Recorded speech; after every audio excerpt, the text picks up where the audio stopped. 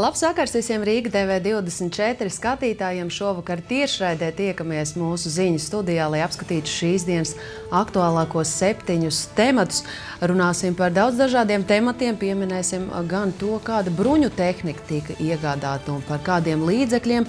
Pieminēsim arī šīs dienas galveno notikumu Lāčplēšu dienu par dažādām provokācijām, kuras gan tiek izrādītas no mūsu kaimiņu valsts puses, jeb Krievijas, un, protams, arī citiem svarīgiem tematiem. Un, lai to visu darītu, Rīt šovakar pie mums ciemos Raimonds Bergmanis, Nacionālo bruņoto spēku diškarēvis, tāpat arī Olimpiskās komitejas viceprezidents un gal galā 12. saimnes deputāts. Labvakar! Labvakar! Stāstiet, kā jūs aizvadāt Lāčplēšu dienu šodien? Uh, man uh, dalīts jūtas, un, uh, jo ir pietiekami daudz pienākumu saimā, kad šī katra diena ar vienu vairāk piepildās ar daž, dažādiem notikumiem. Un, uh, tu nespēji gandrīz vai tikt līdzi. Jo ir gan jāiepazīstās ar to, kas tev sagaida priekšā, gan arī jāsagatavojas. Tāpēc diezgan daudz laika tas prasa. Un, un, jā, es arī aizgāju līdz, līdz mūsu bruņoto spēku Rīgas garnizona parādē. Pavēroju, jo man bija pašam iespēja viņā soļot kādreiz un arī komentēt. Tāpēc pavēroju, kā tas notiek šogad. Uh, Un ļoti interesanti dzirdēju sarunu tieši aiz muguras eh, mūsu um, krievu cilvēku stāstīja saviem ciemiņiem, kur bija atbraukuši no kādas nu, citas valsts par to, kas šodien notiek. Un tā, un es ļoti lepojos, kā viņi to pasniedz un kā viņi stāstīja par tām lietām, ko mēs bijām klātesoši. Mm -hmm. Prieks, protams, dzirdēt šādus labus vārdus arī protams, no citu tautiešu puses, bet uh, tiešām arī mēs piedalījāmies dažādos pasākumos šodien visas dienas garumā. Tagad gan ķersimies klāt top 7.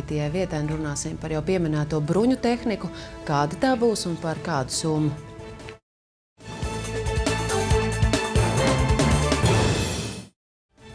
Zemesardzes kauju stiprināšanai un vispār tām spējām vakardienā valdība apstiprinājusi pretanku ieroču, tāpat arī kravas automašīnu un bruņot apvidus automašīnu iegādi no Norvēģijas. Kopumā tiks iegādātas 800 pretanku ieroču, tāpat arī 50 kravas automašīnas un 50 viegli bruņotas apvidus automašīnas kopumā par 4 miljoniem eiro no kopējā aizsardzības budžeta. Hmm. Ņemot vērā, ka šī tehnika ir stāvējusi Norvēģijā, viņi it kā nav lietoti labā stāvoklī, bet tomēr ir stāvējusi. Vai tas kaut kādā mērā ietekmē to visu? Un vai nav tā, ka mēs esam nopirkuši kādu vecu, pastāvējušu tehniku un vajadzēja var, varbūt vairāk domāt par kaut kādu jaunu un mūsdienīgu lietu iegādi? Nē, nu, tad ir jāskatās, kādiem nolūkiem tas tika iegādāts pirmām kārtām. Un otrām svarīgi ir tas, ka mēs iepērkam to no Norvēģiem, jo mēs ļoti ilgu laiku esam sadarbojušies. Norvēģija ir ļoti, ļoti mums palīdzējusi mūsu uh, puikām dienot Afganistānā un pildot šo misiju. Tā kā uh, šī sadarbība priecē, ka ar šīm skandināvu valstīm viņas uh, droši vien izprot. Un, runājot par šiem Karla Gustaviem, ko iepērk, viņi arī ir, tas arī ir teikts, ja, ka viņi nav paši jaunākās Ja? Bet viņi ir savietojami. Tādi paši pretanki ieroči ir gan uh, Igaunijā, gan Lietuvā. Līdz ar to tas ir tas, ka uh, mēs esam tādā vienotā kopējā aizsardzības sistēmā. Un uh, par uh, mašīnām, ja, nu, man liekas, tāds labs salīdzinājums ir tāda firma kā Defenders, ja, un viņu mašīnu ražotnes, kas ir ražotas vēl tur tālajos 50. un 60. gados, apmēram 70% viņas darbojās. Un, Un mēs paši zinām, kā ir mainījusies šī industrija, ka arī mums kādreiz bija tādas seni labas ražotas preces, kas ļoti labi kalpoja un ilgstoši kalpoja un nelūza. Un mums ir modernās preces, kuras bieži nu, nespēja pat eh, lāga iestrādāties, kad viņas jau ir jānes un jāmaina. Tāpēc eh, man ir grūti komentēt, jo es pat eh, tiešām neesmu redzējis, ne taustījis, ne esmu bijis tūmā. Un, un izdarīt secinājumu tikai par to, ka viņas ir kādu laiku bijušas nu, turētas, nelietotas. Man būs grūti pateikt, vai viņas ir kvalitatīvas, bet es domāju, ka mūsu eksperti ir pietiekoši zinoši, kad viņi zina, un tā cena tiešām ir ļoti, ļoti laba, lai iegādātos tik lielu daudzumu šādu lietu. Mhm. Noteikti jau spriest par kvalitāti varēsim tad, kad tiešām tas viss tiks saņemts un aplūkots uz savu acīm. Bet ķersimies klāt topa sastajā vietā runāsim par tematu, kuram jau esam pieskārušies. Proti par autobusu pārvadājumu firmas Nordeka šoferiem un viņu pieteikto streiku.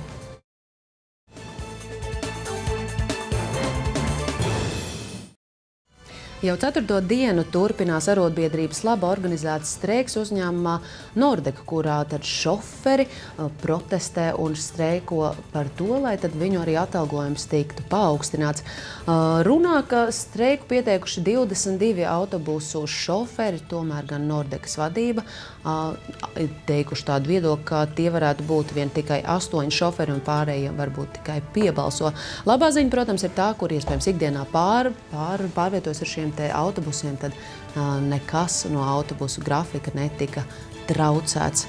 Nekas vēl nav izlemts, ne tāda skaidrība vēl nav paaugstinās vai nepaukstinās šīs algas, bet vai tad nav gudrāk vienkārši pāriet uz citu autobusu firmu? Vai arī tur tā lieta ir tāda, ja vieni paaugstinās, tad būs jāpaaugstina visiem, un tad atkal tas biznes jau būs uh, grūtāks. Jā, jā, nu, man liekas, šī streikošana un šīs arotbiedrību kustības, kas ir mūsu valstī, nu, viņām nav tādas senas tradīcijas, un līdz ar to cilvēkos, man liekas, vēl ir saglabājusies tādas nesenās pagātnes, uh, bailes. Bailes par streikošanu un iesaistīšanos kaut kāda savu viedokļu paušanā. Un, uh, skaidrs, ka arī pasaulē ļoti daudz kur notiek, nu, daudzās vietās šo arotbiedrību kustību pārņem drusciņi savādāk cilvēki domājoši un izmanto šo arotbiedrību kustību cīņā pret šo firmu vai uzņēmumu īpašniekiem sautīgos nolūkos, bet mūsu valstī tas tiešām būtu vērts aizdomāties, iesaistīties un eh, šīs kopības sajūtas, kad mēs tā kā visi, jo nu, man bija tāds ļoti dīvaini klausīties, kad ļoti reti dzirdēts, kad eh, šis eh, jēdziens, kurš ir ļoti populārs un ļoti bieži dzirdēts rietumsabiedrībā, streiklauži. Tad, tad streiklauži ir šajā streikā atradušies, kas aizvieto šos šoferus. Un tas, man liekas, Latvijā tāds reti, reti dzirdēts apzīmējums cilvēku darbībai, streiklauži. Jā, un, eh, nu, lūk, un, eh, Ja šī arotbiedrība būtu pietiekoši spēcīga, kāds mums, piemēram, ir eh, skolotājiem, pedagogiem, jā, vai arī ārstu un medicīnas darbinieku arotbiedrības, kuras ir pietiekoši spēcīgas un stipras, tad nu, viņi spēj šo viedokli arī tā stipri un spēcīgi arī paust. Un šeit mēs redzam, tā, ka nu, tā arotbiedrība laikam nav pietiekoši spēcīga un nav šis kopējais vienotais, vienotais uh, nodoms eh, cīnīties, un, un, un tāpēc varbūt arī šis streiks arī tādā veidā noris. Un, eh, un, un grūti ir, jā, nu, tas nav viegli, es domāju, tiem cilvēkiem, kas ir iesaistījušies streikā, nu, viņiem ir ļoti, ļoti grūti, bet eh, nu, tikai tā droši vien var izcīnīt kaut kādas tiesības un labāku dzīvi. Mhm. Diezgan ir noteikti arī tālāk dzirdēsim arī turpmāk par to, kā izvērtīsies šis streiks, kā labā tas gal galā arī noslēgsies, bet mēs ķeramies klāt topu piektajā vietā un runāsim par Krievijas visdažādākajām provokācijām.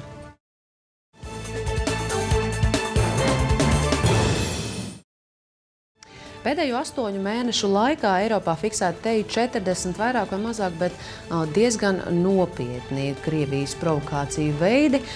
Proti tiek fiksētas visdažādākās gaisa telpu pārkāpumu gadiem. Kad, kā jūs zināt, mēs arī esam jums stāstījuši, ka Krievu iznīcinātāji ielido mūsu gaisa telpā tāpat, un, protams, ir jālaiž gaisā arī mūsu pašu patruļu lidmašīnas, kur tad sekotam līdzi, un nereti gadās arī tā, ka sadursme ir nu, diezgan tepatās blakus, un vien par mata tiesu izdodas izvairīties no tās. Tāpat arī par kuģiem, kuri tad bīstami arī iet viens otram garām un teju vai arī pamanās sadurties.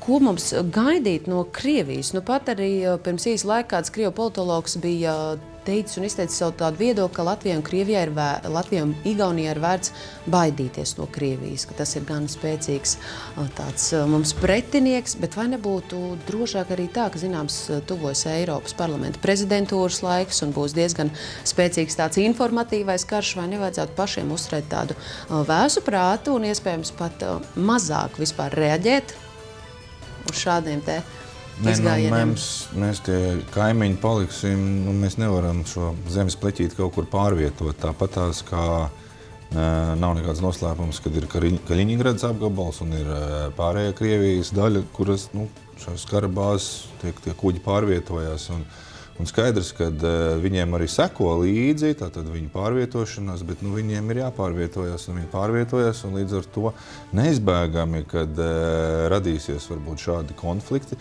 par kuriem iepriekš uh, kad nebija izveidojusies šāda ģeopolitiskā situācija, varbūt nemaz tik daudz neziņoja vai arī nerunāja. Bet šī brīdī nu, mēs arī nav nekāds noslēpums. Visi zinām, ka pat uh, Zviedrijā un Somijā iedzīvotāju skaits, kuri vēlās, lai šīs, dali, šīs valsts mēģinātu un sāktu domāt par uh, iestāšanos NATO. Par ko pirms tam bija ļoti, ļoti skeptiski lielākā daļa iedzīvotāju šajās abās ziemeļvalstīs, tad arī viņiem bija gan šis Zviedrijā teritorijos ūdeņos it kā fiksētie notikumi ar nezināmas izcelsmes zemūdeni, gan šie vairāk kārtējie Krievijas Federācijas gaisa spēku lidmašīnu robežu pārkāpumu. Un, un tāpēc e, ne tikai caur mums, bet arī šīs blakus valsts tiek zināmā mērā pārbaudīts. Jā. Uh, nu, protams, ka vajadzētu saglabāt šo vēso prātu, bet viennozīmīgi, ka arī mūsu NATO sadarbības partneri ir, ir sapratuši, ka tās bažas, ko ļoti ilgus laikus ir izteikušas Baltijas valsts, Polija, ka tām ir bijis pamats. Un, un, un līdz ar to nu, viņiem arī ir pārskata šīs visas lietas un attiecības ar Krieviju. Un, nu, mēs nebijām vienkārši tā, ka mums tas ir kaut kāds nepamatots nu, bailes vai kā, bet tās bija tiešām pamatotas bažas par šo attiecībām ar, ar Krievijas federāciju. Un, līdz ar to arī šī sadarbība iegūst jaunus impulsus, jaunus iezīmes, jaunu veidojumu, jaunas domas, jaunu plānu. Un, nu, par to viss tiek domāts. Nu, par, ka, ka likās, ka jau tas viss ir aizmirsts un ka tā viss ir pagātne. Izrādījās, ka nē. Un, nu, nu, mēs esam neliela valsts, lai gan es domāju, ka ir milzīgs panākums tas, ka mums šeit ir sava valsts starp tām lielajām ļaužu un nāciju grupām, kas ir pasaulē, nemaz tik daudz nav. To valstu tikai nedaudz pāri pa 200, un mums tāda ir. Un, eh, tad eh, mums vajadzētu, protams, eh, būt atvērtiem sadarbībai un mācīties kopā ar mūsu partneriem, gan lietuviešiem, gan igauniem, gan arī visiem pārējiem NATO partneriem, kuri šeit to arī apliecina, ierodoties un veicot jau dažādas apmācības un mācības norisu patstāvīgi. Eh, kas arī ir signāls no mūsu puses. Es domāju, ka mēs e, e, esam kā, palīdzējuši mūsu partneriem NATO saprast par to, ka tiešām tā bāža nebija nepamatota. Mm -hmm. Tālāk ķeramies jau klāt no draudiem un provokācijām no Krievijas puses pie notikumiem tepat pie mums Latvijā un vairāk saistībā ar lidostu Rīga.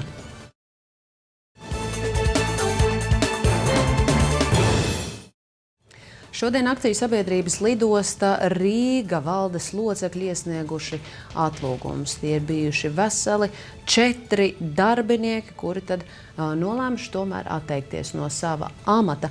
Un, kā zināms, tad arī satiksmes ministrijai, kā akcionāram ar Starptautisko lidostu Rīgu, ir atšķīrušies viedokļi dažādos jautājumos, un iespējams tas radīs šādas saspīlētas attiecības, un iespējams tas ir bijis tieši tas iemesls, kādēļ četri valdes locekļi nolēmuši pamest šo posteni. Mēs jau te arī pasmējāmies, ne, ka varbūt piedāvāt darbu Hongkongā. nu, kas to var zināt? Ko tas varētu liecināt? Varbūt eh, Air Baltics ir briesmās, nevis lidost Rīga, un tagad visi mūku prom no tādas līkstoša kuģa. Es nedomāju, ka uh, viņš ir slīkstošs kuģis, jo, jā, nu, protams, tiesvedība mēs zinām, kad notiek, un Air Baltica ir mūsu nacionālā līdzsabiedrība. Un, Bet te pašā laikā ir uzsākta gan lidostas rekonstrukcija, gan šī skrejceļa jaunā būvniecība, gan šī jaunā termināla būvniecība, kas tiešām prasās, jo mēs paši, kas ikdienā ir lidojuši, nu, tiešām prasās lielāks šis termināls. Par pamatu, kāpēc uzreiz četri valdes locekļi iesniedz, man ir grūti komentēt, jo nu, līdzīgas gadījums mums tikko patās bija arī privatizācijas aģentūras valdes locekļi. Arī divi iesniedz atlūgumus tādā veidā. Uh, Nu, zināmā mērā viņi protestēja pret to, kas notika ar bankas citadeles pārdošanu. Kas par iemeslu bija šiem četriem valdes locekļiem, droši vien mēs to laikā arī vairāk, vairāk varētu uzzināsim. Bet, Nu, visādā ziņā, nu, jā, nu, laikam mēs šodien daudz dzirdam, kad uh, cilvēki sāk kaut kādā veidā izpaust savu viedokli. Gan šie autobusu šoferi, gan iespējams arī lidostas valdes uh, locekļi šādā veidā nu, izdara savu, savu veidu protestu pret to, kā tas varbūt viņi redz, kā vajadzētu attīstīties, vai kā vajadzētu būt norisināties lietām. Un, ja viņi to neredz, tad viņi šādā veidā nu, to mēģina izteikt skaļāk. Tāda lūk notikuma pagaidām saistībā ar lidostu Rīgu. Noteikti plašāku informāciju zināsim arī turpmākajās dienās, bet topat trešā vieta kāda laba ziņa šoreiz gan no valsts pāri okeānam no Amerikas Savienotajām valstīm.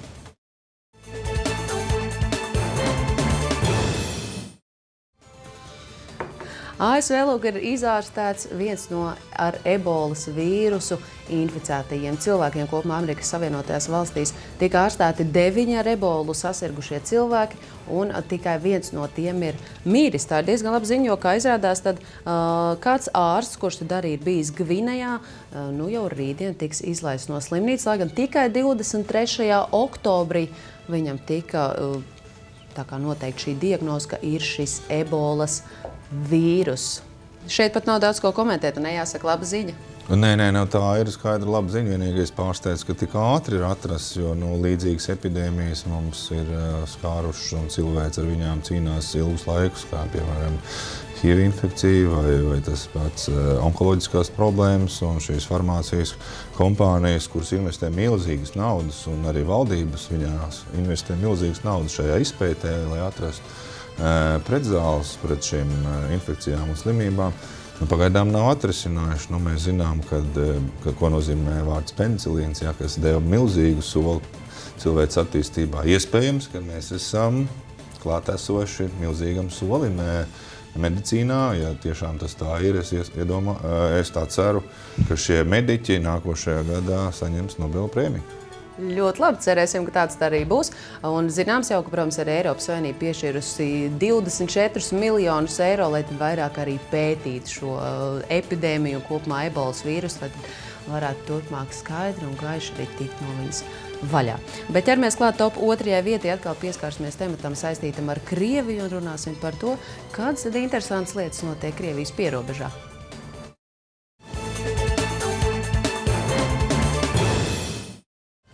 Krāslavas novada domas priekšstādātājs Gunārs Upenieks ir nobežies par diezgan interesantu situāciju Krāslavas novadā. Kā viņš saka, tur diezgan daudz aktīvisti dodas pa dzīvojamajām mājām, dala dažādus bukletus un stāsta par tādu diezgan labu dzīvi Krievijā. Tas viņam liek uztraukties, un kā viņš saka, tad valsts vīri lūk tam vispār nepievēršot uzmanību. Tikmēr gan Lūdzu novada domas priekšstādātāji saka, ka tādas īpaši nekāda izgājiena nav protams, arī manīti. Vien, uh, viņi saka, ka pam, pamanīts ir Vladimirs Lindermans ar savu partiju un viņa aktivitātēm, bet tas principā arī viss. Kā tad ir valsts vīri pievērš vai nepievērš uzmanību, vai gal galā viņš kā pilsētas mērs būtu pirmā persona, kam būtu tad jārūpēs par to, lai tādu bukletu dalītāju nav. Es arī domāju, ka pašvaldība jau ir uz vietas, un mums ir grūti šeit no Rīgas pilsētas uzzināt, kas notiek šajā brīdī Krāslavā. Jā, liels paldies eh, Krāslavas mēram par šo informāciju. Protams, kad eh, es domāju, ka eh, gan dažas drošības iestādes par to varēs vairāk sākt darboties un interesēties, kas tad tiešām tur notiek tajā pierobežā. Bet, nu, ir grūti, jā, jo citreiz arī man ir bijusi tā iespēja braukt uz Latgali un apskatoties dažu labu viesnīcu un viesnāmu, tā teikt, iespējās iegūt informāciju no televīzijas, tad tur, tur ir diezgan grūti atrast kaut kādas programmas, kas būtu saistītas ar šo valsti. Vairāk ir tā ir. Bet, bet visādā ziņā nu, mums tiešām vajag būt uzmanīgiem un, uh, Un uh, par visiem šiem gadījumiem, protams, arī ziņot, uh, lai, lai mēs izprastu, jo uh, nu, šī masveidīgā stāstīšana par to, cik saulaina nākotne mums te visiem varētu būt.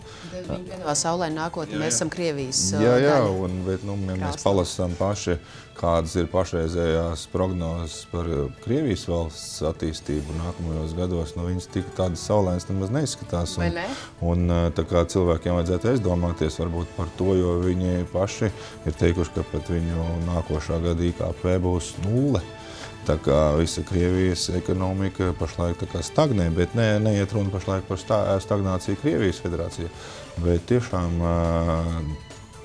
vajadzētu šiem pašvaldības cilvēkiem, nu, es nezinu, nu, tad mēģinām, tiekamies, runājam un kā var varbūt šo situāciju labot. Un, uh, arī man tagad būs darbs priekšā aizsardzības iekšlietu un korupcijas novēršanas komisijā. Un droši vien mēs arī dosimies uz šo pierobežu un interesēsimies, kāda tiešām tur tā situācija ir. Mm -hmm. Tā kā to visu redzēsim. Lūk, mums ar kolēģiem arī jau bija doma prātā, kā tad rīkoties Gunāram upeniekam. Noirēt autobusu, aizdoties turpatās blakus kādu Krievijas sāģu, parādīt, ka tur nemazam nav tāda zelta dzīve, kā viņiem tiek stāstīts. Un tā iespējams tiktu kliedētas arī visas bažas un cilvēki tiktu pārliecināti, ka nu nav tur nemazām tik labi, kā bukletos ir rakstīts. Bet mēs ķeramies klāt topa pirmajai vietai šīs dienas galvenais notikums Lāču plēša diena, un tūdaļ pieslēgsimies arī tiešraidē Krasnalai.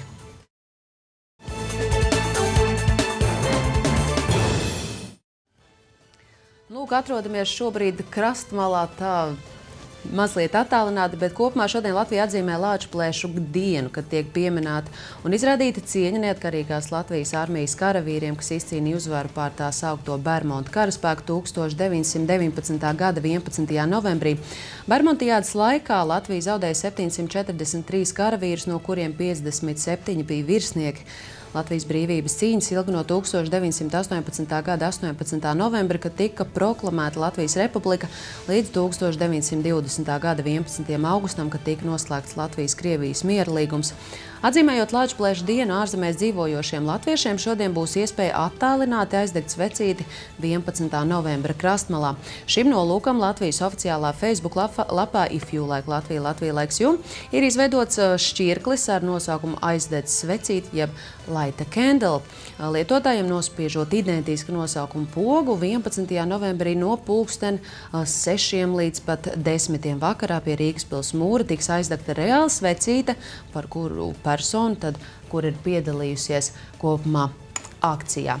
Tālūk, šobrīd izskatās krastmalā, arī mēs varam pavērot, bet tikmēr jums jājautā tāda nu, interesanta akcija ir izdomāta, vai ne? Uh, Vienīgais, ko tagad, kad jūs lasījāt šo akciju, tad man likās aizdom, nu neaizdomīgi, bet likās tāda nedaudz interesanti, kāpēc tas viss ir angļu valodā, ja mēs runājam par Latvijas dienu. Un par savējiem, un par savējiem, if you like, un candle, un tad es domāju, ka ir pietiekoši skaista valoda mums latviešu valoda. Un nu, 11.